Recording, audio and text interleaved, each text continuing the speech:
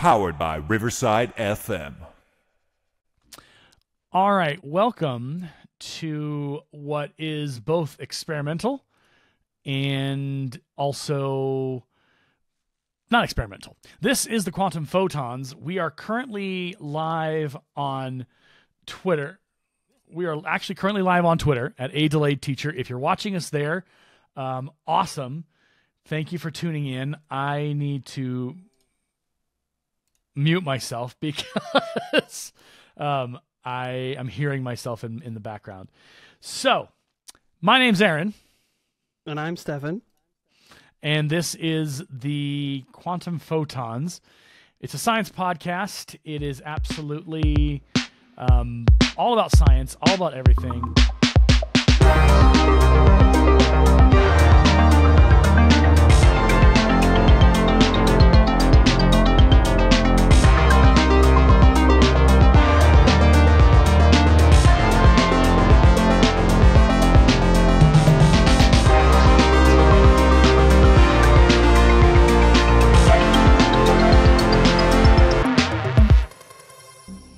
All right. Well, welcome back to the Quantum Photons. My name is Aaron, and that's Stefan on the other screen.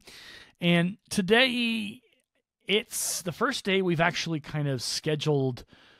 Oh, scheduled isn't the right word. The first day we've kind of outlined what we're going to talk about. And in our first episode, we talked a lot about who we were as scientists. I am not.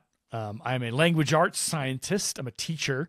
Um, and Stefan is on the road in, in school and has taken part in a lot of sciency NASA like NASA um, experiences. And so today we figured, you know what? We should start at the beginning ish and talk about rockets. So we've got an outline, but I will very transparently warn you there may be some jumping around. Uh, it may be a little bit of a tilt a whirl as we navigate through our structure and how things are supposed to go. so we ask for your grace and your mercy upon us as we at times may stumble or we may stride confidently from the starting line to the finishing tape. But That's please, what we need to say is we're just going to stride confidently. yeah, it's, we're gonna fake it till we make it. No, we're Uh, gonna no, be, not we're be- fake it. we're not faking anything tonight. No, no, no, no, no. This is the real deal. This is the E true Hollywood story of rocket science. Um, Okay, don't hype it that much. It's we're just it's gonna be out of control. It's gonna be great. It's it's fine. Everything's fine. it's going to be out of this world. Uh oh, ba-dum bum. Uh so let's start. We got we've got to start somewhere. So it's important that we start with a brief and again, this is not exhaustive. This is not encyclopedia. This is a brief history of rockets. And I'm going to rely on Stefan to kind of hold me accountable and keep me on the straight and narrow as we go through this. A little of it's going to be, some of it's going to be me, but some of it's also going to be Stefan kind of talking about his knowledge and stuff like that. So we're going into the history of thing. And the first thing that we have to really talk about, which has become more of a modern conversation, is the the, the real true reality of what happened po- pre pre World War II and post World War II. Um, before World War before in, before World War II and up to a certain point in World War II, we were losing the rocket race. Um, the United States, ever, nobody was was really doing well. Um, the the guys who were doing the rockets really well were unfortunately the Germans because they had the rocket scientists. They had the Wernher von Braun's. They had the people who knew and and were making strides and designed the V2 and are like ev- everything was working with when it came to the rocket side of things for Germany. And what's interesting and it's something that's just started to be talked started to have been talked about now more recently is when von Braun and his scientists, the, the Nazi scientists, because there's no doubt they were a part of that party, they were then either recruited or they defected or a little of both over to the United States. And it was at this point that the game changed because now we had the brains. we had the brain power to begin to design rockets, to begin to not just use rockets for weaponry, but to use rockets to get to space. And so Wernher von Braun and Warner von, Braun and his team directly changed history for the United States and NASA. And a lot of what we saw after that was an acceleration of the space program um, and everything there. So As a as Again, a aside, um, before rockets, as in rockets going to space, the whole point Yep. of recruiting von Braun and his team was for what the military called Operation Paperclip, which was to develop guided missiles for the United States. So that was the Yeah. initial reasoning for Warner von Braun and his team. It wasn't actually Yeah. until a little later when they moved to the Redstone Arsenal in uh, Huntsville, near Huntsville, Alabama, that things started to change a little bit. Um, yeah, after they had made these ballistic missiles, um, uh, the president was like, "Well, mm, okay, we need to maybe switch gears." So um, he transferred his rocket development group there um, yeah, to what is now known as NASA. Uh, so that is how the Yeah. whole NASA story began. NASA came from not only the president deciding, hey, we need to develop rockets, but a majority part of that team was actually making rockets to fight the bad guys. That's what started Yeah. NASA, and it's kind of crazy to think that, but that's where it came from. So, yeah. There is a so again, I'm not a NASA scientist or a NASA employee or or have really like anything with NASA. But there's been a lot of I guess the word would be pressure and and, and conversation around the idea of accountability with NASA's past. Um, Wernher von Braun and and his connection to the Nazi Party is absolutely a conversation I think that's worth having without invalidating the impact and effect that he and his scientists had on the future spaceflight. We wouldn't have gotten to the moon or anywhere where we were supposed to go without that situation happening. But it doesn't make it okay for what he did for the Nazis and for his membership and their membership in the Nazi Party. I want to make that very clear because it's not a there are and we I, we either talked about it or I've talked with somebody else about this, but there's been kind of this washing of the historical backgrounds of a lot of people in NASA who have those those little kind of that dirty laundry where hey, this guy did this bad thing or they did this thing and we're not going to really talk about it. We're going to just write a glowing review or a biography about him and that's that's what's going to be officially in the books versus a critical eye going hey you know these guys mm, there there's some history there. We need to we need to be honest about where they came from. And so that's the context of this piece of this part of this kind of section of the episode is is that we can't talk about any of it without acknowledging that yeah we we stole their scientists. We we got them and that was the game changer.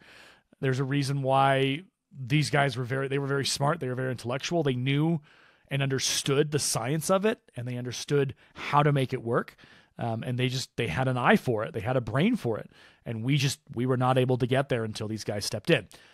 So to be very clear that's i just wanted to put that at the beginning because i know there's going to be people be like well why didn't you mention this thing well we did we, we made sure um, so Stefan gathered us a link from sciencelearn.org, which we I'm the no I'm the not knowing guy. I'm the guy who doesn't know anything and needs to learn things. And so why Stefan exists, well, he exists because he's he's a good guy and he's interesting and he's fascinating. He's got lots of topics. But his part in this podcast is I want to go I I put the big question out there of like I literally just did like line number two, the various rocket models. And Stefan was like, Well, what do you want to know? And I said, Everything. And he was just like, Okay. we're gonna we're gonna be here for a few hours. So ver, the I guess the first the various rocket models kind of take there's a you're this is a historical thing. So this this is pretty cool. Kind of walk us through I guess the history of it a little bit and how far we've come and how far we had to go to get there. Okay. So, uh, first off, uh, this is a very comprehensive list, so I'm probably going to skip parts of it. Um, the first thing you actually need to know, which most people do not know, is rockets actually uh, began in China. Uh, they called them Chinese fire arrows. That was the true, the very first rocket that ever existed was an arrow created by the Chinese. Uh, they used it Okay. against Mongol invaders. However, as time went, uh, so the German Germans uh, were the first to actually invent the two-stage rocket that reached higher Okay. altitudes. Um, as we kept going, uh, the first successful liquid propellant rocket was actually done in 1926 by Robert H. Goddard, or uh, the person who, I mean, if you know NASA Goddard Flight or Goddard Space Flight Center, that's who it's named after. So he was the first person to fly a rocket powered by liquid oxygen. Uh, herein, it will be known as LOX because it's just easier to say it that way, and gasoline. Okay. Uh, gasoline is not anything that's really used anymore in rocket propulsion, but back in 1926, you didn't have all the intricacies you do now. So the first manned uh, rocket flight was actually Fritz von Opel, I think is how you say his name. Uh, he flew, or yeah, he flew in a rocket propelled plane in Germany. Next came the Huh. V2 rocket, which is really when rockets started to become what we know a rocket as. Um, it was very interesting because the V2 rocket actually burnt oxygen and alcohol. That's how it did its thing. Huh. Um, which, to my knowledge, there's no rocket currently we use that burns alcohol. I could be wrong, but that's to my knowledge so far. Um, Yeah. Well, and what you what's interesting is is that it was at a rate of one ton every seven seconds. mhm. That is hecka fast. It very. Like Very. I I think what's fascinating to us in 2024 is you think about okay, well, you, then that how how many tons of of of that do you have to load on a rocket um, to make it go where it needs to go? And that the math on that just makes my brain go, nope, don't want to think about that because that's a lot of it's a lot of it's a lot of weight because then you got to Yep. counter the weight with the strength of the rocket to get it to go where it needs to go. Um, obviously, in 1942, the Germans were very focused on using it for a war type use and for atta- using it against civilians and, and, and soldiers, which obviously we don't we're not particularly fond of. The V2 rocket was was one of the greatest weapons and, and most horrifying weapons of, of World War II because of it was it was powerful and it did damage. It was Um, also the first rocket ever capable to reach space. Okay. Well, that that I did not know. Yep. Uh, that's that's terrifying. Um, Yeah. Okay. So what happens after what happens after the V two rocket? So the V two rocket was pretty much like the uh, uh, precursor to intercontinental ballistic missiles (ICBMs) Okay. or yep. continental ballistic missiles, whichever you prefer.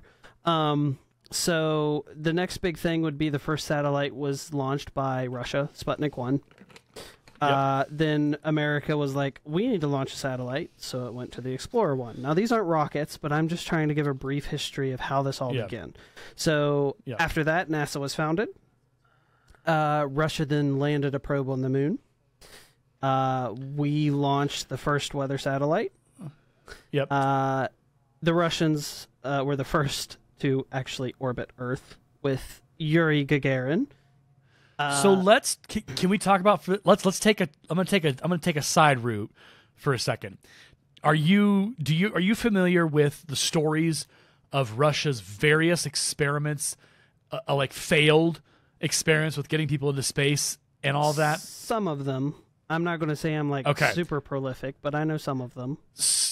So there there are actual recordings of this where they were they'd launch people into space or launch people and they would shoot out of orbit or they would they would there, something would go wrong.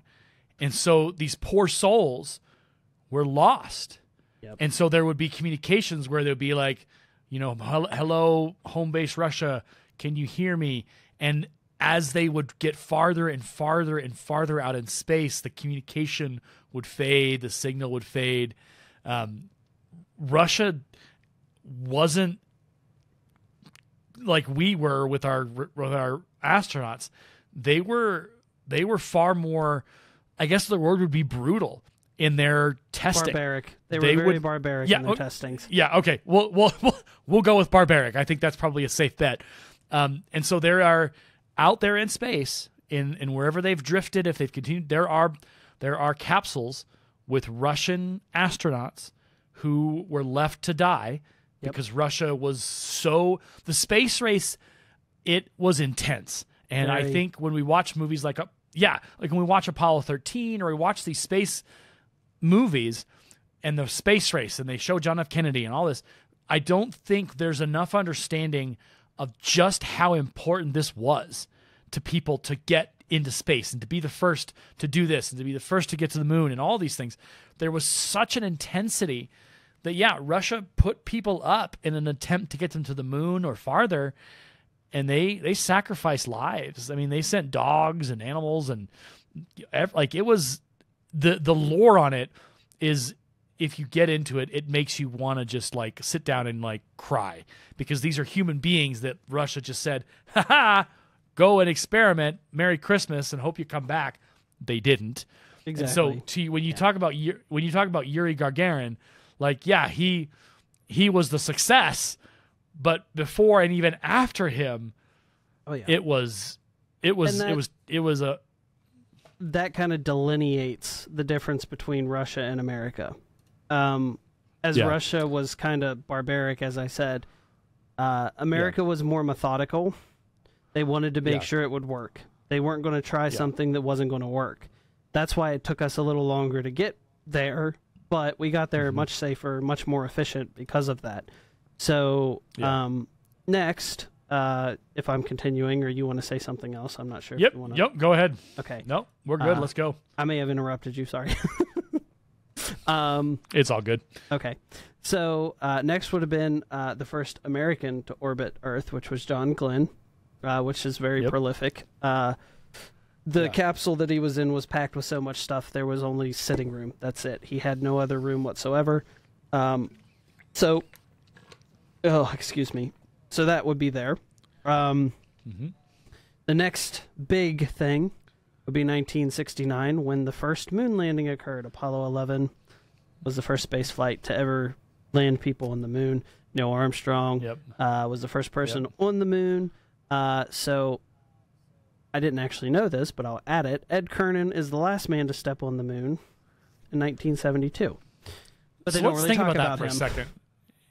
Yeah, let's let's talk about that for a second because if we're going to calculate now, there is a plan which it's interesting. We'll we may again we're going to take some rabbit trails for a second here, but if we take 2024 and we take 1972, it's been 52 years Yep. since anyone has stepped foot on the moon. We've sent probes, we've sent all these kinds of cool rovers and like all these things. The Artemis Orion capsule. Yeah. So 52 years. Now, recently, was it the Artemis capsule that was slated to land on the moon but didn't? No, so that was the test. Uh, the Artemis. Oh, okay. That was the first test of the program.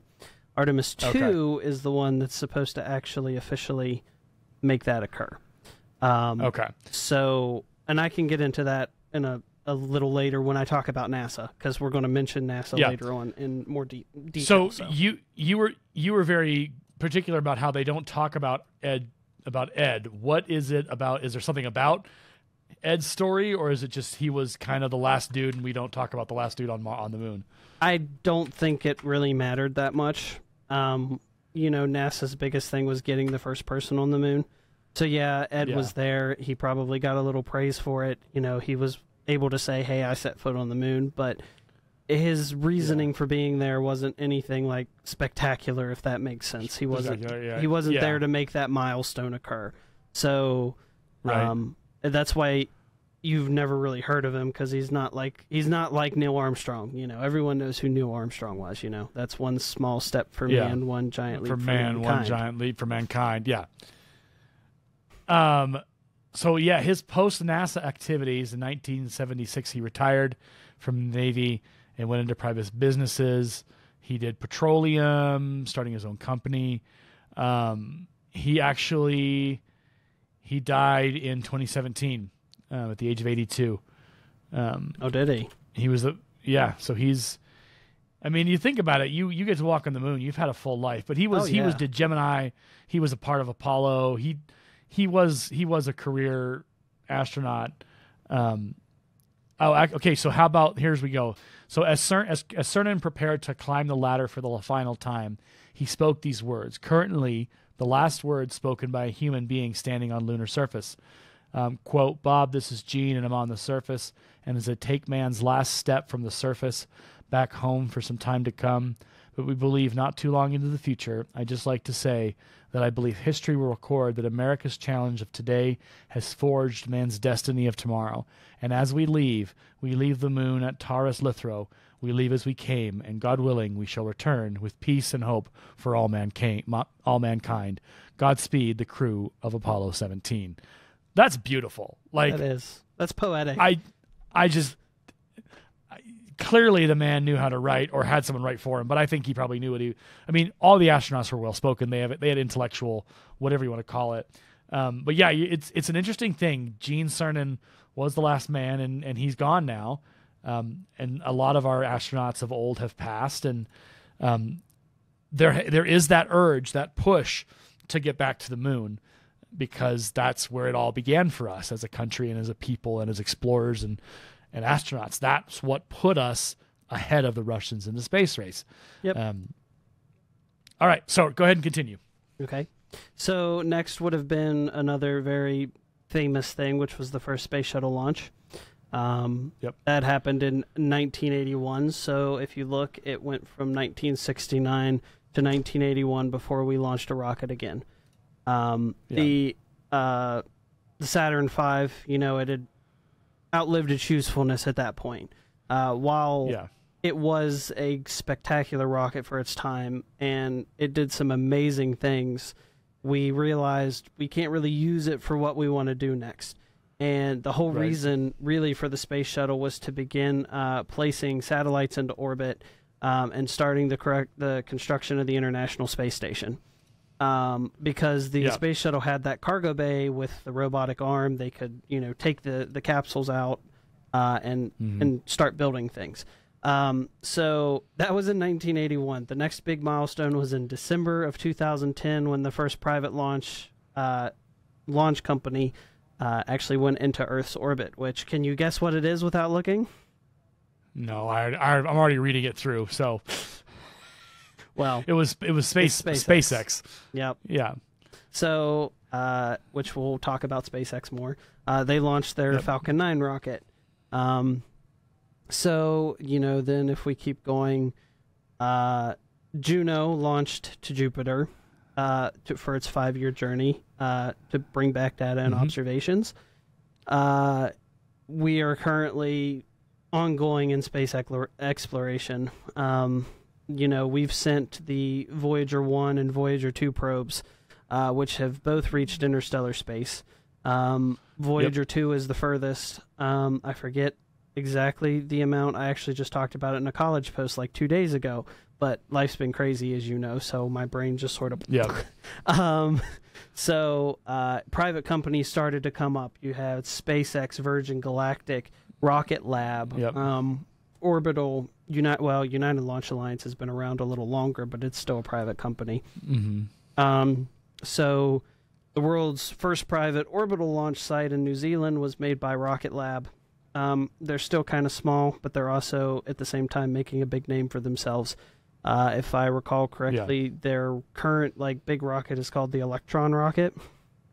Um, hmm and they have facilities in the U.S. as well as in New Zealand. Um, it's actually a place that NASA can launch um, payloads um, if need be. So they have Okay. connections with NASA. Uh, the first commercial rocket launch from New Zealand was Rocket Lab as well. Um, so they've made huge strides when it comes to launching a rocket from New Zealand, uh, which the reason for that is to get into a certain orbit. Um, but that's a whole nother entire story. So um, then in 2020, uh, the first launch of a privately crewed flight uh, actually went to the space station, which was the first time uh, since 19 no 2000 and something I can't remember when uh, that we Mhm. launched astronauts from American soil um, with the Falcon 9 rocket uh, using the Dragon capsule um, or the Dragon 2 capsule. Uh, this specific mission was called the Crew 2. It was probably one of the biggest hyped missions that I can recall. I watched it straight up. I was like, this is huge. Um, to get us back into space from America was a big thing. Um, and it's successful um, with a lot more things on the way. So that's a little brief, you know, a, a brief overview of rockets, uh, where we came from, where we're at now, um, and what can come here in the future. So, Yeah. Well, and what's interesting is there, and this is the conversation we had um, yesterday regarding successful models versus unsuccessful models. There isn't really an unsuccessful model because all of them either were tested to the point where they were like, okay, it doesn't work. We need to redesign it. We need to do this, that, whatever. Um, so there isn't really an unsuccessful model because by the point, by the time they get, well, most of the time, by the time they get to the launch pad and are ready to be assembled, like they're they've been tested over and over, which is a lot of what the independent companies have been doing. Um, Elon Musk's company comes to mind, SpaceX, all those guys. They're some of them have had rockets explode on the launch pad, um, and that's part of the quote unquote the testing is to make sure okay, can it withstand the, t- the the actual launch? Can it withstand going into space? All those kinds of things that you have to you you can't do with somebody on the in the space capsule or whatever. You No. you have to just okay, we've we've we've built it. Now will it work? And yeah, is it scary to watch a rocket not like fall apart or explode on the launch pad? Absolutely. But the reality is that's the only way you know if it's actually going to work or right. if it doesn't work, where where did you go wrong and how do we need to do better? That's Um, it. And I think because we're in we're in that yeah, so we're in that digital age where you know if this had happened in the 1960s and they were doing all these tests, nobody would really know about it because Nope. they were conducted uh, you know at the space center and nobody was really going over to watch those tests. But now in the digital age, they run video feeds from the launch pad and it's broadcast around the world. So yeah, we're watching these failures happen in real time. And so people are like, oh, well, I don't know if this is actually going to work. Blah, blah, blah. It's like, well, no, it it will. We just have to test it and make sure. And sometimes they're going to blow, they're going to go boom, and Well, we have to then re. that's one of the biggest things because I've um, I've watched SpaceX a lot in the Starship, which is supposed to you know take us to the moon and to Mars, um, and that's one thing they've said at both test launches is that um, they don't consider it a failure if the rocket explodes because it's giving them more data and more understanding of what they need to refine to make sure the rocket is a success.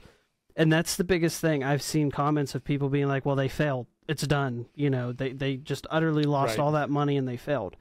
Well you got to think about this. They know that it might not work. In fact usually they plan for it that early in a stage.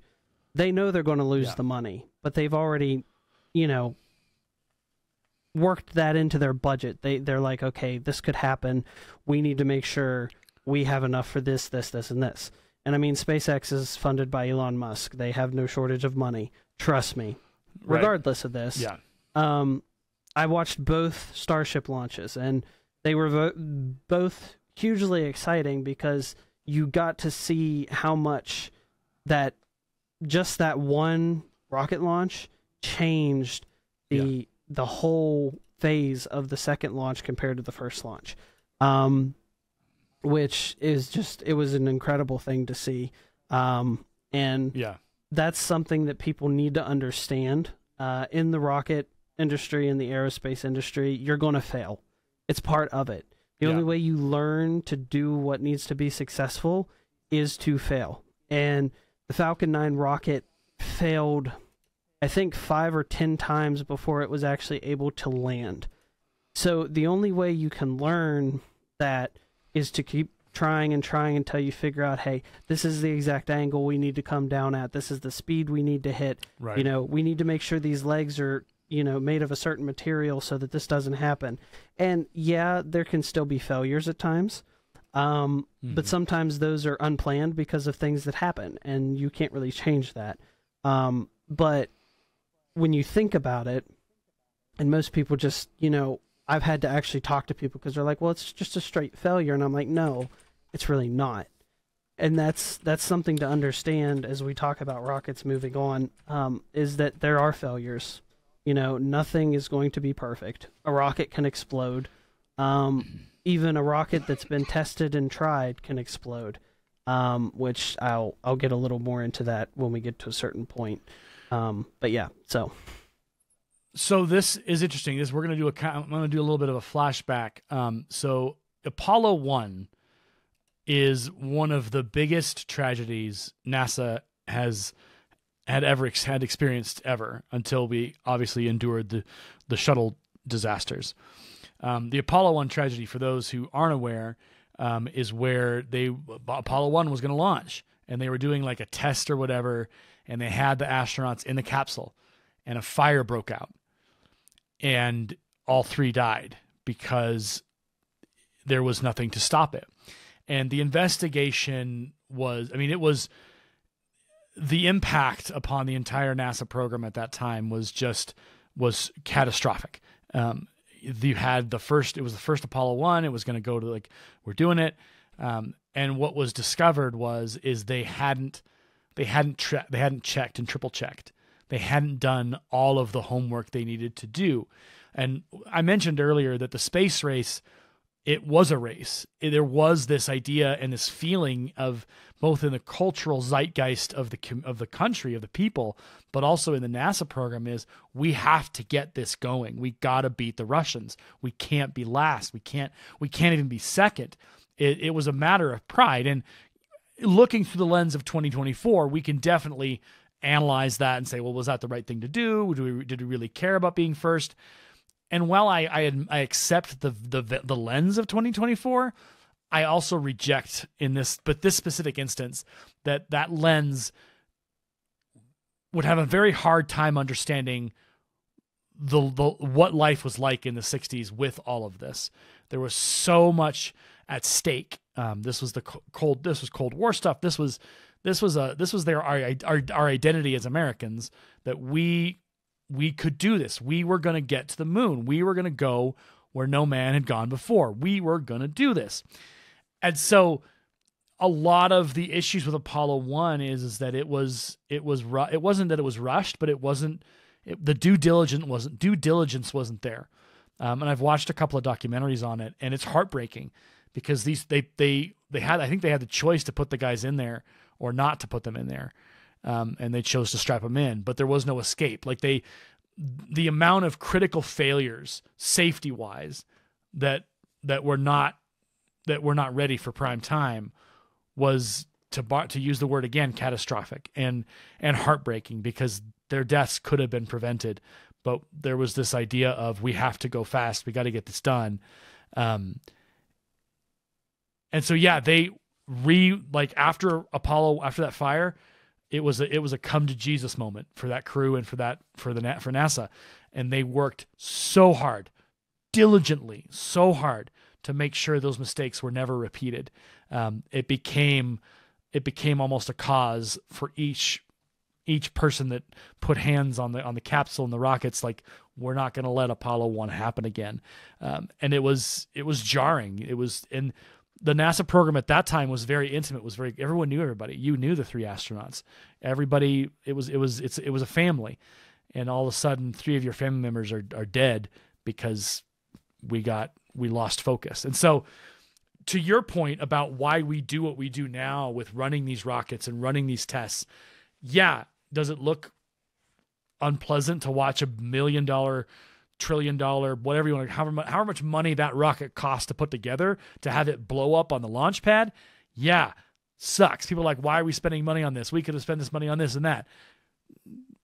Maybe, but with with a lot of these private companies, they're putting up their own money, um, and it's it. So it's that it's also that that duality of yes, we have issues here at home, but we also want to look to the stars. We we're human beings. We can't not look to the future and look to up uh, what's above us and what's beyond the planets and what do we what where can we go from here so there's no easy answer to the question of watching a million dollar, two, five million dollar rocket go up in flames.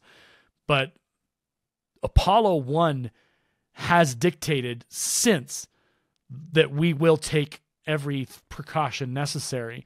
And they guarantee you, more than likely, the lessons of Apollo 1 are probably taught in the SpaceX, in the United launch.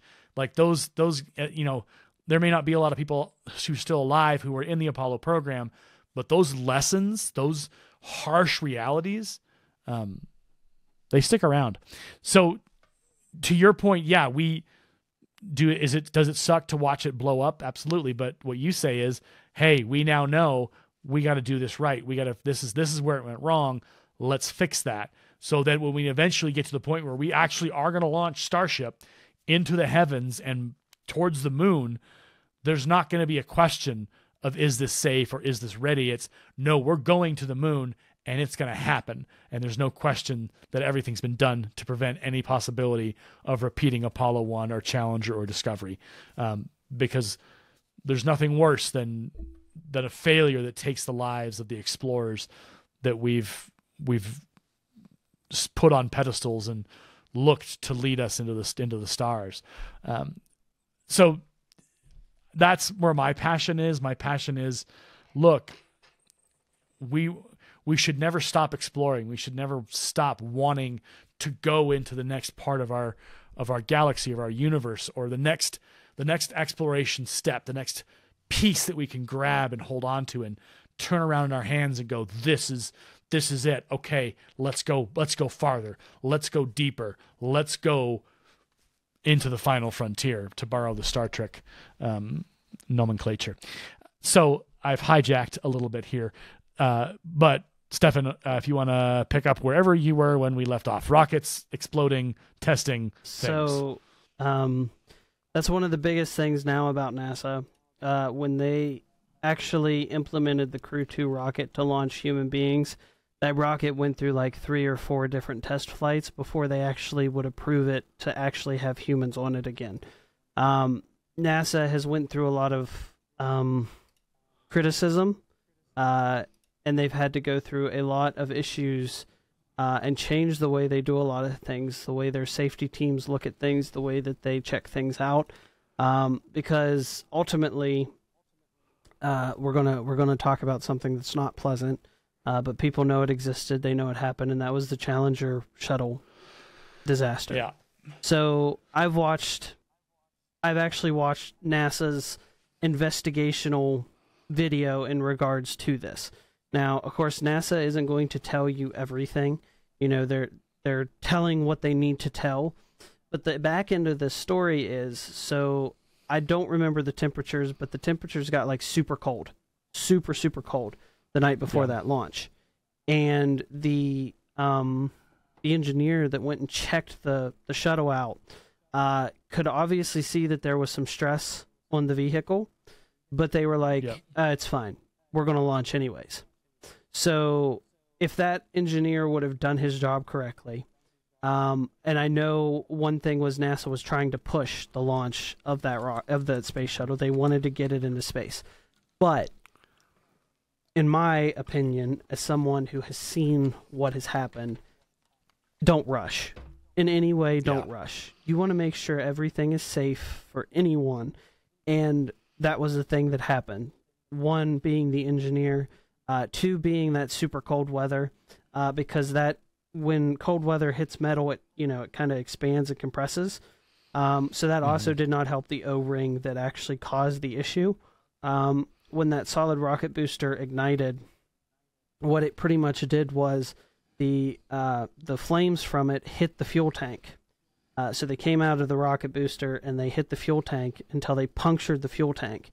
Well, when the fuel tank punctured, all of the pressure you know, of the rocket just boom, it, it was just a canister to explode. Um, and in the diagnostics, NASA could see the pressure dropping in that rocket booster, but then it would come back up. But then it went back okay. down again. So, you know, there's a certain point in time where you really have to tell and make sure when you see something like that, you got to be like, okay, there's a problem here. But of course, at that time, it wasn't quite sim- you know, that simple because It wasn't until right near the end when they started to see a huge fluctuation, and they was like, okay, something's wrong. And by that time, there's nothing that could have been done. Um, Yeah. the Challenger disaster was it was horrific. It was catastrophic. It was a nightmare. Um, I've talked to people that were there, saw it live on TV, and you can just tell even now today when they talk about it, they just they're appalled that it happened. And Yeah. like I said, that's one of NASA's biggest things now is safety. Um, the government actually pretty much pushed them. Um, in fact, the whole reason the space shuttle program ended was because it was deemed unsafe after having two rockets explode. Um, yeah. regardless of NASA's checks and balances on it to see to make sure it was ready and okay, it was deemed that it was unsafe. They needed to figure out a different vehicle to send people to space. Um, and that's why, for the longest time, you did not see any launches from America. Uh, NASA Yeah. at that time had not worked with the private space industry yet. Um, but the space shuttle, even though it had two critical failures, it also propelled us into space to build the International Space Yeah. Station and beyond. It was an amazing vehicle, and its merits are, are great, but it also tests NASA's knowledge, and it made them have to be more thorough in their checks before a launch. Um, I'm sure if the weather ever got that cold again, uh, regardless of the rocket, NASA's going to be like, no, we ain't doing Yeah. that. Uh, we're going to wait. Right. We're going to make sure this rocket's ready, it's safe, um, and that no one's going to be hurt. And so that's something that I can, you know, you, you say, and this might be bad on my part, but you say it's hard to watch a rocket explode when it's being tested. Yeah. It's not when you're in the mindset of what my mindset is, you know, knowing what I know. Uh, but yeah, you know you you know what's the purpose of it. You know Yes. that it, it is there's if, if it does go someone who doesn't know, I can only imagine they're like, "Oh my goodness, that just exploded. That's horrible." yeah. Um, but it's funny because at times, like one of the first Starship uh, tests of just the ship, not with the booster, Mhm. uh, it it landed, but literally like 30 seconds later, boom, it exploded. Yeah. So there's there's actually a compilation on YouTube. Uh, if you would want to go and watch it, uh, viewers as well as you, Aaron, of um, SpaceX failures of the Falcon 9 until they started to land it, and it it shows the failures. Uh, so it shows you that things don't always go as planned. Nothing's perfect. The Mhm. space industry is one of the hardest things to do because you have to get everything right. And it's not just Yep. a simple, hey, the first time we do this, it's going to work. That's not how this works. Um, Yeah. Now, you know, companies that have the knowledge, they've done it for years, they build a new rocket, there's a potential they could make it work on the first time. But they still Yeah. test it. They test every aspect of it because safety. Safety is one of the most Mm-hmm. Paramount reasons for what what we do now in the space industry, especially with rockets. So, um, as you said, uh, I, I told you yesterday, unsuccessful models wasn't really an un- unsuccessful model. There was some disasters Right. that occurred, but I can't Yeah. say that there was any model that was unsuccessful in um, meeting the mission criteria that it was set to do. Um, Yeah. So, you know, the ones that got us to space, uh, just to mention them, would be the Saturn V rocket, uh, the Space Shuttle, um, the Falcon 9 rocket, um, currently, and the Soyuz rocket, because we use the Russian capsule in between the Space Shuttle and what we now use by SpaceX's private, uh, private-owned rocket. Um, the ones that Mhm. got us to the moon, Saturn V has been the only rocket to actually get humans to the moon, uh, because we have not went to the moon since the Saturn V. So Yeah. there's not really another rocket that the U.S. has that's went to the moon. They've had probes, you know, orbit at different things like that. yeah. But um, the Gemini capsule and the Saturn V uh, were two of the biggest things to make landing on the moon possible. Um, then you know it just sort of went from there. The Gemini capsule being the first, uh, the first space capsule. So it was before the Apollo 11. So I want to make Mhm. sure and, and just you know clarify that. So it was one of the first things to get us to space. Um, so there wasn't. You you put the question in here, and I, I got to answer it. There was no ship that took the space shuttle to space. The space shuttle was made to Right. go to space. Um, the yeah. the thing that made that occur uh, was SRBs, solid rocket boosters, and the fuel tank, which Yeah. um, Yeah. for the people that can watch this live, uh, I'm going to show you exactly what that is, so you're not like, what What is he talking about? What is this thing that he's mentioning? Um, Yeah. So let me just pull up a picture here, and we'll.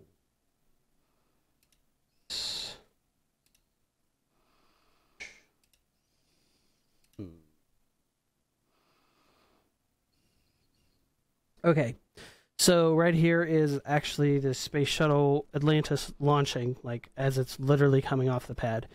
Um, as you can see, my mouse here. Um, so these white cylinder type things are the SRBs or the solid rocket boosters. So they're filled with Mhm. fuel, and their entire job is to boost the the shuttle to a point where it can then get into orbit. Uh, the big thing in the middle is the fuel tank.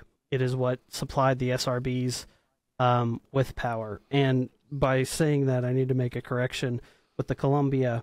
The leak actually happened. Um, yeah, no, it happened in the SRB, so it happened in this uh, along one of these O rings here, and then it punctured the tank, and that's what caused the issue. So that's the fuel tank. That's the SRB or solid rocket booster. Sorry, I use the acronyms now because that's what I know. Uh, but that's Right. the space shuttle Yeah. in a nutshell, that's how it launched. Uh, now, the space shuttle itself had engines. Those engines also were part of making sure the rocket got into space, but they were not the main driving force to get it up and out of the Earth's atmosphere. That was the whole reason for the SRBs and the fuel tank. Okay. So we talked about the Challenger disaster. Um, the other one, so the Challenger exploded on takeoff, um, and then the other one exploded on landing. Yep. Talk us through, because again, there was they were they were two incidents Mm. um, for very different re- for different whatever. So talk us through the second and final um, kind of disaster that that put the shuttle service um, on uh, it put him it put him out of business. So the Columbia disaster, as you said, was different. Uh, it did not happen at launch. It actually happened when the shuttle was re-entering the Earth's atmosphere from space. Um, when the rocket actually left the atmosphere at launch, um, a few of the panels on the underneath of the shuttle, which I can't can't really find a good picture of, uh, but they are um, they're kind of like heat-resistant panels because when you Yeah. enter back into the Earth's atmosphere, there's a lot of heat because you're going back down through that atmosphere. So there's a lot of Mhm. heat being projected on the bottom of that vehicle. So when the shuttle came down, it was pretty much coming down in an arch down Mhm. in because the, the, the bottom part of it was protected by that heat. Well, a, a large chunk of those plates came off. And NASA, if I recall, they knew it, uh, but they didn't think it was going to cause an issue. Um, however, when if I if I recall correctly, they didn't they didn't think the damage was as bad as it was. Is what the thing was. They thought it was minor. Yeah. And to an extent, if it would have been minor enough, they probably could have got back into the atmosphere and been fine. However, because of that immense heat building up, um, without that protection, it pretty much got inside the shuttle and it just broke it apart uh, into a bunch of little pieces. Um, and the worst thing being is the fact that they say that the um, in both the Challenger and Columbia, um, the crew was probably alive when this happened. They didn't die immediately, and Yeah. that's probably one of the hardest things to fathom, uh, especially Yeah. for the Columbia, considering there was a school teacher on board. Um, and that's just that's even for me that is one of the most tragic things that I, I've had to learn. Um, you know, like I said, the space shuttle has huge merits. Seeing one launch even today is just an Yeah. amazing thing to see. But because of those issues, um, the space shuttle was deemed unsafe, and I can't say that I blame them because the loss of, you know, uh, the space shuttles usually had a crew of let's see, about seven or eight people on them, give or take the mission. Um, that's you know about 16 lives that were lost uh, because of you know, you know the the first one would have been negligence, um, and the 2nd one uh, I, I can't say if Columbia was negligence um, or if that was just something that happened um, because these shuttles were reused. Um, so there could have Yep. been an issue that they just didn't know or they couldn't see. Um, you know, we don't really know that fact. Now there's probably people that do know that fact, but it's not something that's common knowledge. Um, so Yeah. that's that's the difference between the Columbia uh, and the Challenger disasters. Um, I, I, I don't think I was born. I'm trying to remember um, the Challenger disaster. So give me a couple of moments to challenge, Challenger explosion um, was 1986. I would have been four years old, so I don't remember that. I Um, definitely don't remember and actually- I wasn't even born. you weren't even born.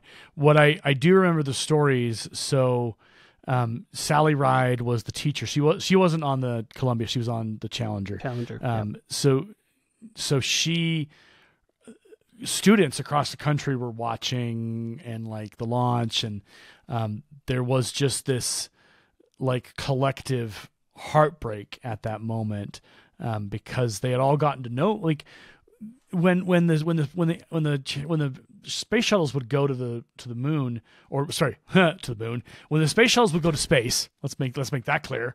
Uh, that'd be cool if a space shuttle went to the moon. I, I don't know that'd be fun.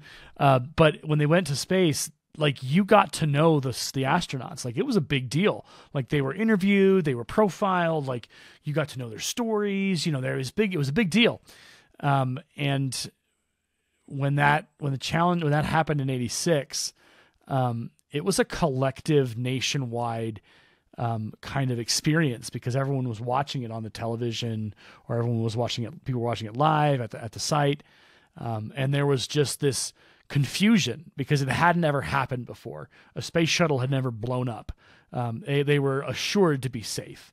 Um, and so when that happened it was the nation kind of got put into shock um, and Ronald Reagan, the president at that time, had a a, a night, an evening address to the country, um, in which he put to words um, about the loss and what it meant for the for the country. Now, Discovery, I was alive when that happened. you mean Um, Columbia? Discover, sorry, Columbia. Good lord. it was two thousand. Why am I trying to? February 1st Yeah, 2003. yeah so i was i was i was alive enough in that moment um and that was um i don't know. It just it was i do remember that and i do just remember being just in disbelief that that's that that's how um that that's how it ended um and that they were coming home. I think that's what made columbia even harder is is that they were coming home and that that was that that was that they were just they were almost they were so close um, but they couldn't we couldn't get them home um, so the loss of that program put us the in the ended like the so the private companies they were already in probably in progress but they really started stepping up their game um, because now NASA had to re, re, re, redesign a shuttle or redesign something that could then do it. Um, so a lot of companies stepped in. So let us shift into the various private companies and operations in existence.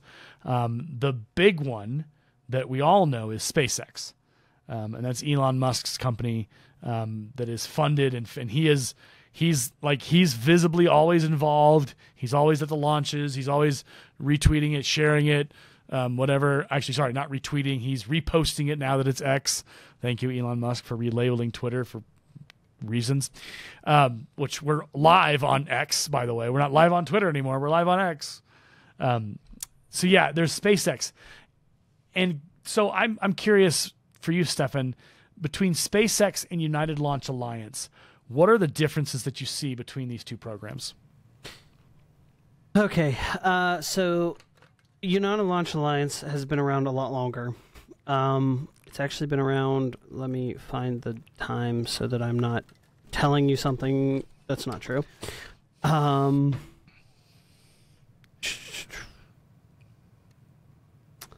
uh, come on now. Where am I? Where am I looking here? So, um, it doesn't exactly say when they started, at least not when I'm looking at their actual site. Uh, if I went to Wikipedia, I probably could, but after going to college, they tell you not to look at Wikipedia because it's not an actual, Uh. like, uh, authentic site. So the biggest thing with ULA, uh, and this is what makes them a step above SpaceX when it comes to like uh, quality, um, would be that um, they have um, so on their website they say they have they're combining more than 100 years of launch history. So they've been around a long time. Uh, but they're all the only company that's ever achieved more than 150 consecutive launches since 2006 um, and every single Wow. one of those launches has been a success. They have never had a failed launch. So in regards to quality uh, ula is, is where it's at um, they're a company that's been around a long time. They're very respected, especially in the aerospace community. They have contracts with the Air Force, you know, NASA, uh, and whoever else. You know, different companies have them launch different things. Um, they just launched something recently in their newest rocket, um, which was supposed to go to the moon, uh, but there was a bit of an issue with that whole thing. Um, SpaceX, on the other hand, um, they're the innovators. Uh, that would be my best way to really describe SpaceX because what they've done is unheard of. Um, we never thought back in the day that we would be able to reuse a booster, to be able to land a booster back down to Earth, and within six weeks have it ready to be reused. That is insane. Like that's just Yeah. crazy. Um, now that didn't happen overnight. That took years of testing, years of refinement. Um, in fact, it was actually to the point that if Falcon 9 did not succeed, SpaceX was bankrupt. They were going to lose Wow. everything. Um, and so it was a big push for them. Um, a- and, as we know now, um, the Falcon 9 rocket exists. Um, I'm going to actually share my screen again to give people just a little view of some things regarding it. Um, Sure. it's just oh, not that one. So this is the actual SpaceX website. Uh, as you can see, the Falcon 9, it says the first orbital class rocket capable of reflight, uh, which is huge. Um, so to date, it's had 291 launches with 249 landings and a total reflight of 223. So right, let's keep that up there for a second because I'm gonna Yep. I'm gonna for for the for the layman out there, which includes me, we're gonna do 290. We're gonna do 249 divided by oops divided by divided by computer. Let's go 291. 291. So that's an 85.5 percent success ratio. Um, that's insane. Yeah. But That's as you- that's. I mean, you you can tell because those launches that is that is calculated are the ones that also failed. That's the ones that failed, uh, because the ones that landed were the successful ones. But an 85% success rate with a rocket that had never been flown before, um, that was completely new, had never been heard of, to do what has it has done now, it is a rocket that everyone's seen, everyone knows it. You hear the Falcon 9 in the rocket industry, you know what it is. Um, and so it's used. So this this is the Falcon 9. This is the rocket right here. Um, it is 229.6 feet tall. It has a diameter of 12 feet. Its mass is 1,207,920 pounds. Um, Jeez. its uh, its payload to uh, low Earth orbit is fifty thousand two hundred and sixty five pounds. Uh, its payload to uh, geo uh, geostationary transfer orbit is eighteen thousand three hundred pounds, and its payload to Mars is eight thousand eight hundred and sixty pounds. Um, now I can't say that the Falcon 9 will ever be able to get to Mars. I don't think it's possible because it just doesn't have the Mm-hmm. the fuel needed um, to be able to do that. Um, but it is really cool because the site allows you to see the stages, the engines, uh, the landing legs. Uh, so it's it if you really want to check this out, like you know, at a, at a more deep level than what I'm doing right now, this is a way to do it. Um, And one of the coolest things about this rocket is it has grid fins on it. Those grid fins are actually when the booster's landing. Those grid fins help to maneuver the rocket as it's coming back down to Earth.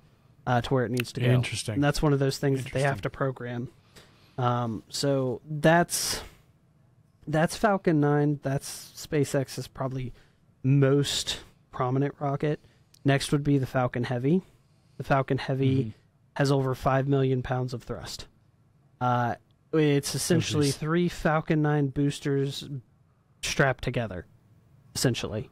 Okay. Um, it has not had as many launches because uh, it's not really needed unless you really need to take something heavy into space. Um, Mhm. That's what it's for. That's that's its whole purpose and reasoning. Um, so they actually land these cores back down to Earth. So it separates and it lands back down to Earth.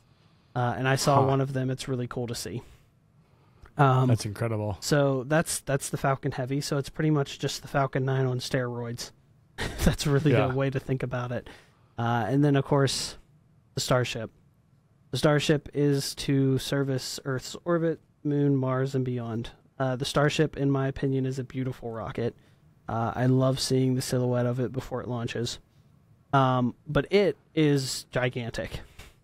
It is Yeah. 397 feet tall. It is the tallest rocket to ever exist when fully stacked, uh, which means the um, the first stage and the second stage are connected together. Um, okay.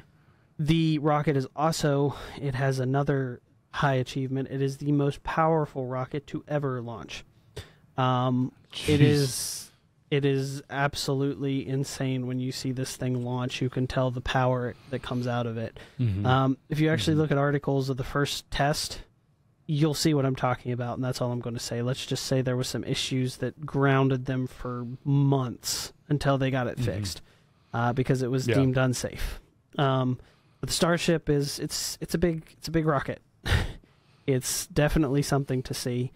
Um, it's powered by liquid oxygen and also uh, subcooled liquid methane. So they use liquid methane and liquid oxygen as the, the propellant and the coolant.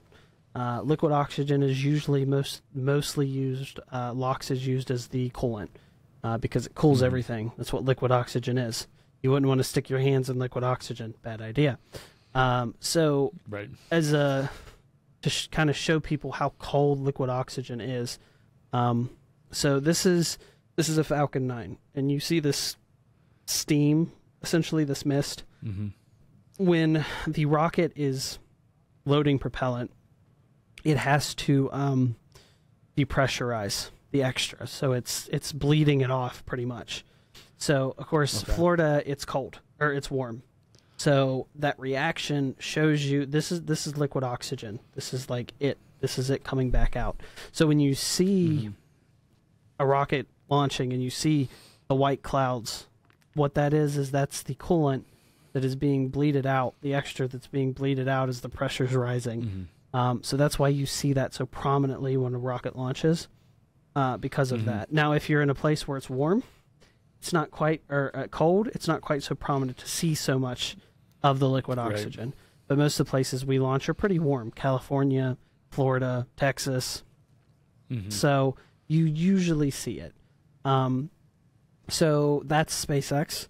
Um, United Launch Alliance has what they call the Vulcan rocket, which is actually their newest rocket. It just launched a few weeks back for the first time. Hmm. Um, so it is, as you can see, they have all kinds of numbers. Um, United Launch Alliance is huge in giving you information about their rockets. Um, so I'm not Mhm. going to read all this, but if people want to look it up, they can go to their website, uh, United Launch Alliance, and then just go to the Vulcan rocket. Um, but they they tell you literally everything. If you really want to learn, they they go deep, um, giving the in- infrastructure updates of how it's built, where it's put together, how it's put together, um, all those things. So they've had the Atlas V, the Delta IV, and the Delta II. These rockets Okay. are they're they've stood the test of time. Let's say that. Mhm. So, United Launch Alliance, like I said, they're a company that um, they're reliable. You know that when they Mhm. launch a rocket, it's going to work because that's their goal. Yeah. Uh, that's what's made them Well, who they are. It's a lot like the comparison like you would make and this is just kind of what I was thinking in my head like SpaceX is the Corvette it's the shiny red Corvette that everyone goes ooh that's that's a that's a nice looking machine. I like, oh yeah, roar, roar, roar, and then ULA is kind of like that old reliable station wagon that has a good engines, got good performance. It's it's gonna get you there. You know, it might not look that it might not look shiny, but you know, it's dependable. It's always been there. You've never had to like go back and rework it. It's it's consistent. It's the workhorse.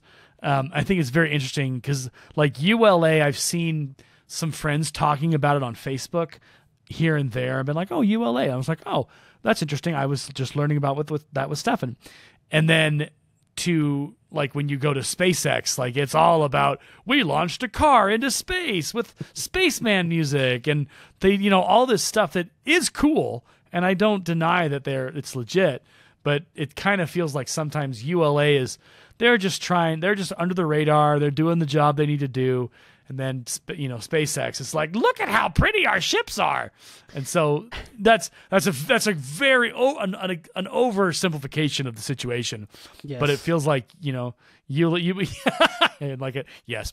ULA is very much very open and like wanting you get, wants to give you information and is kind of the neighborhood guy. You just, oh yeah he's doing some cool stuff.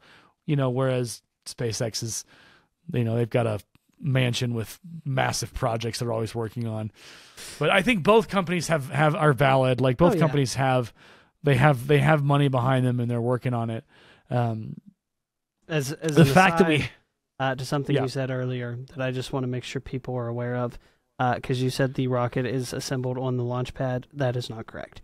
Um, oh, okay they are they are constructed in these buildings. oh, okay Uh, so ULA has their own building, um, and they're kind of, I guess you'd call them. Well, what NASA calls theirs is the VAB or vertical or vertical assembly building. Uh, they bring the Yeah. rocket and they put it straight up, and then they build it, put it together, and then they roll it to the pad. Um, so just a, just a little aside for you to know as well. Uh, but this is another thing about ULA. If you're looking, um, Aaron, they photograph Yeah. everything literally everything they'll show you what they're doing spacex is not that way. They're like you said Yeah. they're very private about things. They don't really share a whole lot but ula's like yep we're here. We're doing this. We want you to see it. It looks really cool. Yeah. we're proud of it. Yeah. Um yeah. so that's that. Um next would be nasa which we got to talk about nasa of course um because yep. we've badmouthed nasa's shuttles so we need to like redeem them here. Right. Uh, so NASA has built a rocket called the Space Launch System, or SLS for short. Um, it is a rocket. I mean, that's that's what it is. But it is a rocket that is reusing parts of what was used for the space shuttle, and that's Okay. That's one of those things where you can really get into a conversation with people. Uh, I did a school paper about it, and I'm like, why is NASA going backwards in technology? Well, NASA's administrator, um, he believes that going with the tried and true method is going to save. Uh, while a lot of people believe using the private space companies to do these things is better because they're innovative, Yeah. they're changing it. But it Yeah. took it took way longer than it should have to create this rocket because of the fact Yeah. that they wanted to reuse old parts. The RS-25 engines were used on the space shuttle. The solid rocket boosters Yeah. were used on the space shuttle. So yeah I have mixed opinions when it comes to the SLS because of Yeah. that. But the SLS, I mean, it is an impressive rocket to see it. Um. NASA has worked to make it an impressive rocket. They actually launched it uh, successfully, um, but it's not able to be landed back down with boosters. You know, that's another thing Uh, with okay. Starship. Starship is looking to um, be able to reland the stage one in the gantry, uh, this gantry here that you see. They call these chopsticks. They're wanting to be able to slide that rocket straight back down into those chopsticks to be able to Whew. reuse it. That's going to take time. yeah That's going to take time. But that's exactly what this is used for. Uh, if you was wondering what those arms are for, they're trying Yeah. to essentially catch a rocket out of space. Never been Huh. done before.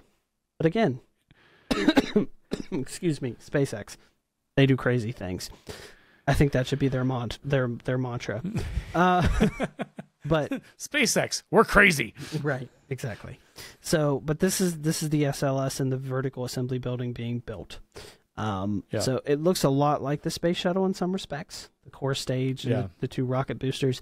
But the biggest thing is the Orion capsule up here. That's what's going to carry astronauts to space uh, through the Mm-hmm. Okay. Artemis program, which we mentioned. Um, Artemis's plan is to get us back to to space, uh, to the moon, where NASA wants to eventually colonize the moon.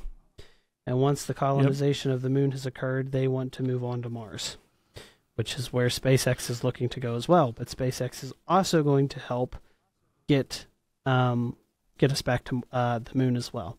That's one of the reasons there's been a lot of testing of the Starship because they're trying to prepare it and get it ready for launch. Yeah. Um, so those are those are just some really, like you said, entry level. Uh, well, and I I think it's interesting that like they want to get back to the moon. They want to build a colony on the moon. Um, I think the harder, the harder, the harder jo- job is going to be getting to Mars, um, and and not but not just getting to Mars, but getting onto Mars and surviving Mars, um, because that's that's the wild card. We know enough about Mars' environment through the rovers and all that, um, but we also we don't we don't know what the human what's going to happen when we try and you know put human beings on the planet or on Mars. Like we know, but we don't know. Like that's part I of what- think, I think one of the things that a lot of people don't know. I don't know if you even know this, but um, mm, it has been determined that don't don't even ask me how long ago this was, but it has been determined Okay. that Mars had a completely different um, environment on it. Uh, it was a thriving environment, um, Right. lush with water. So a lot of why NASA has sent the Perseverance rover and the other rovers there is to determine w- what changed, what happened. yeah You know, is there signs that someone or something lived here? Uh, that is one of the, the jobs of uh, the Perseverance, or what they call the Percy rover. Um, one of its jobs is to gather samples to potentially bring them back to Earth, but to search for any signs of alien life. Um, and that's that's been its whole mission. Uh, in fact, an article today, uh, the Ingenuity helicopter that went with it. Uh, hmm it was pretty much finished. It did its final mission, so it is now done. Uh, but Percy is still active, doing what it's supposed to do. So yeah, Mars is a very harsh environment, like you said. Um, when it comes to uh, uh, colonizing Mars, a person that has the game plan is Elon Musk. He already knows what he wants to do. He already has game plans set of how he would do it, and that's his goal. His goal is to occupy Yeah. Mars. That's the whole reason why SpaceX was really invented. That's been his goal from the beginning, and he's pushing towards it. And the people that work for him, that's their goal as well, because yeah that's what they want to do. And there's some brilliant people at SpaceX. Brilliant, absolutely. Um, to be able to do the things that they do, to be as innovative as they are. But that's in any any aerospace company. NASA has those people. United Launch Yeah. Alliance has those people. Uh, maybe here soon I might be one of those United Launch Alliance people. But finger fingers crossed fingers, Fingers crossed. crossed. Yes. Um, but the thing, the the fact of the matter, like I said, aerospace is ever changing. Uh, in most cases, Mm-hmm. it's new technology. Like I said with NASA, it's kind of went backwards. And when I read the article and learned about that, I I questioned it a little bit. But I'm not the administrator. You know, I can't make those decisions. He he makes those Yeah. decisions. And like I said, the the SLS has its merits. It's it's a rocket. It works but it seems like going back in technology isn't always the Mhm. greatest thing to do.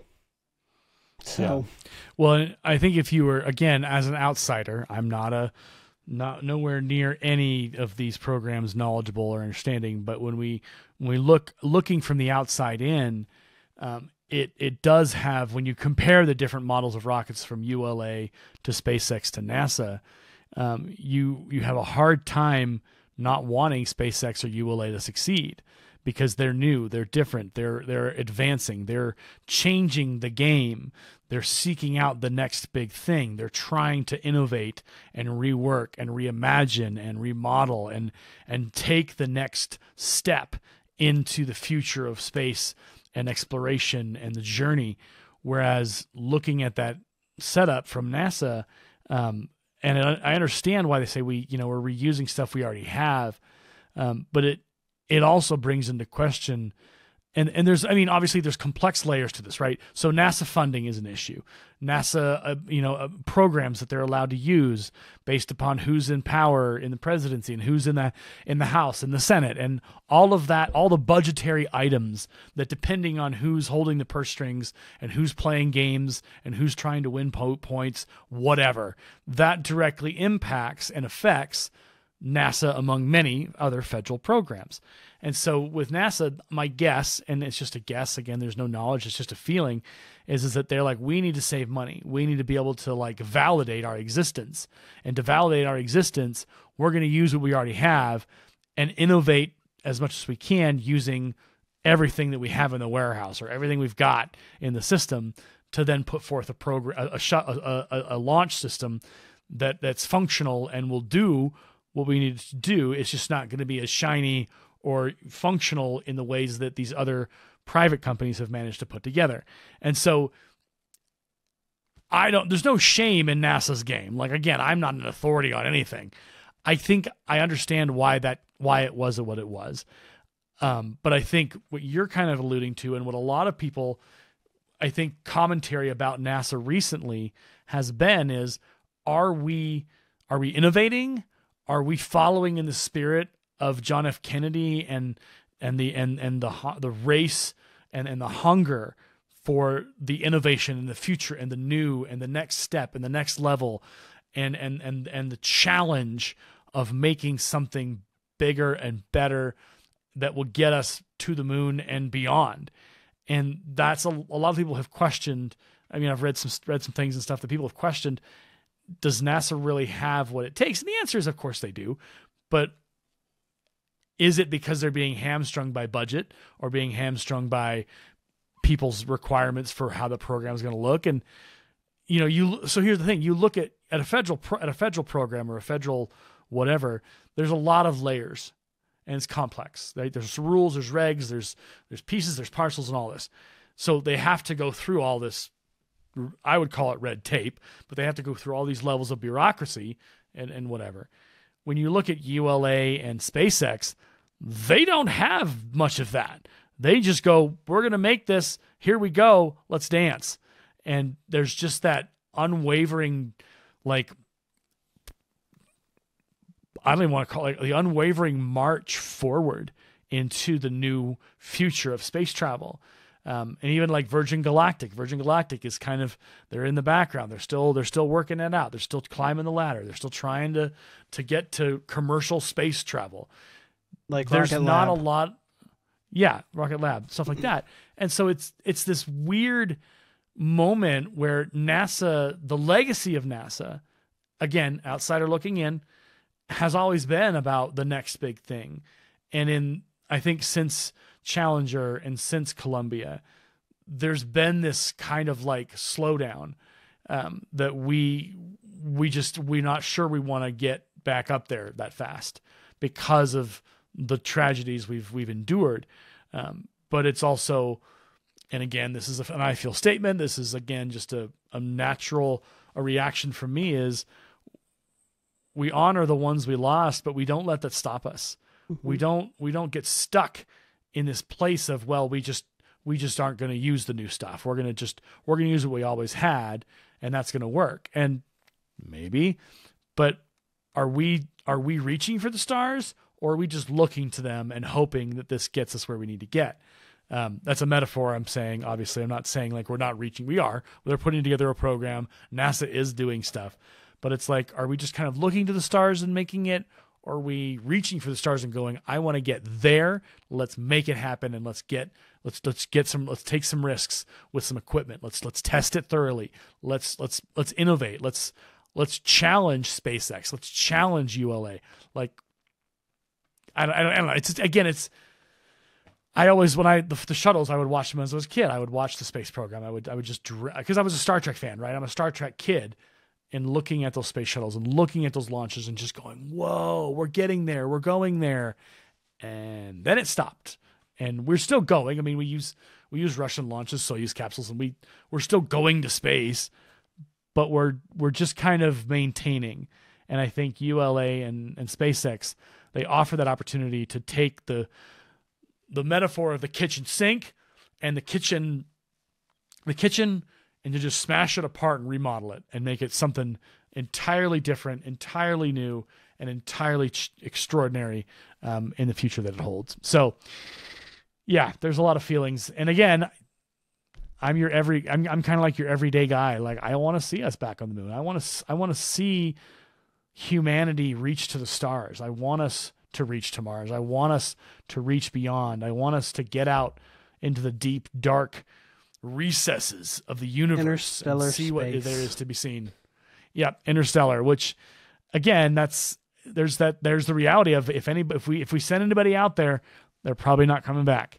Um, and that's that's the reality of it right now is is that we don't have the ability to bring them back. We have the ability to send them, but that's bringing why them back we've sent home probes is, because we know they're not Yep, coming back. A lot of lot of a lot of that. Um, Um, so here's what I'm going to say. as a Go ahead. aside, um, you was talking about the administrator with uh, or with NASA and the the budget. Yeah. So the budget committee is a huge thing, uh, but I also read articles where there's specific people within NASA administration that does not agree with the administrator's thoughts on using old technology uh, to do something that new technology could do. Uh, and in fact, they were very upset that it took so many years for the SLS to be a thing because of going backwards in the direction. So Uh, okay. there's it's a very touchy subject um, but i Yeah. do understand what you're saying with budgeting i've learned nasa budgeting i had to do it it's a pain Yeah. it is a pain Yeah. uh, and it is something that is important and it has to be done and there's those checks and balances and there's red, that red tape as you said um, so i can i can kind of understand it like i said but then my brain being who i am seeing what i've seen and what i want to do i can't 100% agree with the fact of going and using outdated technology when you could still make a new rocket. It may take a little longer, but you could still make those innovations for a better rocket. Um, I will say Yeah. that the Artemis 2 rocket will have a different engine on it. Uh, Aerojet Rocketdyne is making a new engine for the Artemis 2 rocket or the SLS 2 rocket. Um, but Yeah. that's really the biggest innovation in regards to it so far that I've seen anything. So, yeah. Nice. Well, I think I'm I'm going to call us as or we'll we'll we'll take on the basic concept of rockets next week. Um, I think we've we've hit that hour and 23 sweet spot. I, I don't want us to go any longer. I want our audience to to like be able to take in everything we've kind of thrown at them and A rain down on them. Like yeah, it's it's oh, been I a also lot. need And to there- and- apologize. I got to make sure and make my apology for last oh yeah, yeah, last yeah. week's episode. I am human. I made a mistake. Uh, and to the people that truly know this, I am sorry. Um, I said that the Enterprise from Star Trek uh, is, is is what brought the aircraft Okay, carrier hold on. and the space so shuttle. here's i want to make a note here when he said it my brain short circuited and i wanted to say something but you were so far down the story that i was like eh whatever but in my head i was like no oh no oh crumb i should have said oh I, well so that's what I did continue. afterwards too. but it, we was already way too far into things, so my apologies. Yeah. Uh, the Enterprise for Star Trek actually came from the Enterprise that has been around since the 1700s, the Navy, Yep. uh, all those things. So my apologies for that mistake. I knew I did it, um, and you know, like I said, we're all human. We make mistakes. Uh, there's a lot of information that we try to retain in these podcasts, and sometimes that may get a little jumbled or mixed up. Uh, but I just wanted to make a thorough apology for that to make sure you knew I knew what I was talking about, that the correction was made. Um, so Yeah. yeah. just to add that. it's and well it's funny is is that the like i loved so the enterprise when gene roddenberry created star trek the fact that he well originally it was the yorktown but then they changed it to enterprise I love just how culturally that name now holds a place, and it held it. What's it? So your point was was half right because they did build the shuttle Enterprise. It never went into space, but it was it flew on the back of an airplane. Like it it did things, and it's I, I believe it still sits at the NASA facility as like a display model. The Enterprise is there, um, but that the Enterprise shuttle was absolutely a Star Trek connection. Yes. Um, there's pictures of the, of the there's there. pictures of the yeah T- the TOS crew. There's pictures of them standing next to the Enterprise as they roll it out. Um, and I think that is a lovely kind of when science and science fiction collides and creates just this sublime moment of all right we've we've we've put the two together and the name and, and as Captain Kirk says, or Picard says, you know, let them never forget the name Enterprise. Um, the Enterprise now means so much more to so many people because of the connections that it shares with our Navy history, our space flying history, and now our film and our nerd history. And eventually, the name Enterprise will follow whatever the next iteration of ships you know, as they fly into space and seek out, you know, the final frontier in the undiscovered country. Um, I just, I don't know. It's, it's exciting, but it's also cool because it's like my own, my own nerddom has its place in history. The Enterprise, no one Right. will forget the name Enterprise. Um, and they'll, they'll go to Wikipedia and they'll go Enterprise and they'll look at that history and go, oh my gosh, that name has had, it, that name has power and it has meaning and it has importance. And we we we are very human beings are all about importance and and names that carry weight and and, and meaning and they they're strong names. The enterprise is a strong name.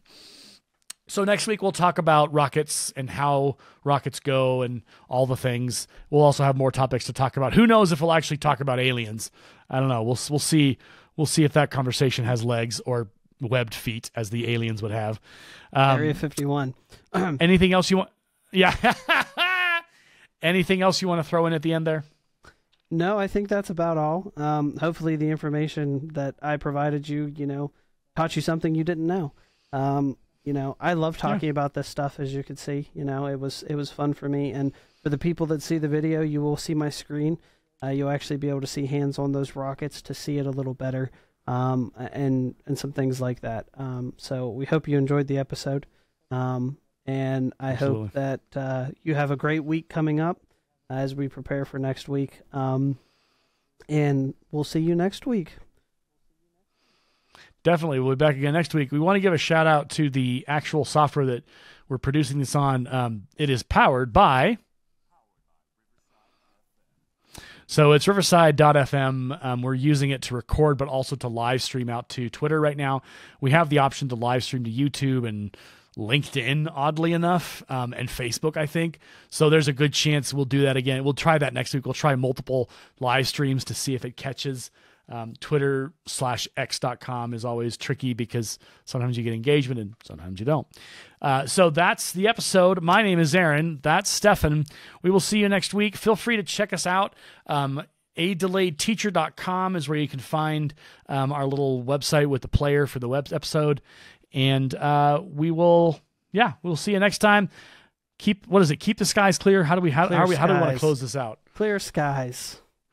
clear yeah make get get those clear skies um, and join us in the journey into the final frontier. Until next time thanks for listening thanks for watching and we'll see you on the flip side